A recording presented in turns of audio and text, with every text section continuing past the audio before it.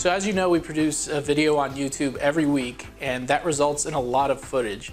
And it's a collaborative effort so we run into the problem of what do we do with all the footage? We knew we couldn't email the footage back and forth with each other because one, the files are way too big to be emailed, and two, it would be a nightmare to manage them in Outlook. To solve the problem, I created a folder in OneDrive, and then I shared that folder with our marketing director, Seth, who helps us make these videos. However, that created a new problem, which was whenever one person would upload a file to this shared folder, the other person wouldn't know about it. So it became a two-step process. One to upload the file, and then two to make sure the other person knows about it.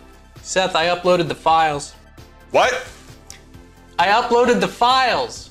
What? Ah, tragic. The answer, of course, was to use Flow.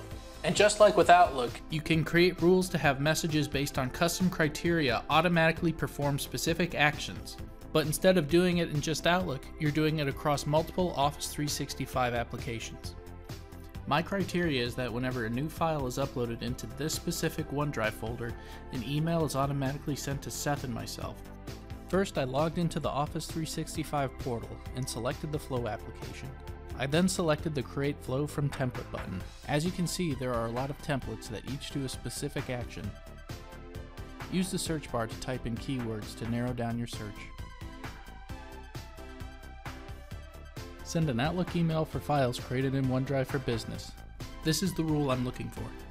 Now I can drill down to the folder I want and then choose the recipients of the email. I can also customize what information the email will include. Click Save to start the rule. So there you have it. By using Flow, we were able to create a task that automatically notified us through email whenever something was uploaded in that shared folder. But generating email is just one thing that Flow can do. As you saw, there are hundreds and hundreds of tasks for you to choose from. If you don't find a task already in the custom templates, you can go ahead and create a template of your own. If you'd like to get a notification the next time we upload a video, click the subscribe button. And thank you to our clients whose support allows us to make these videos.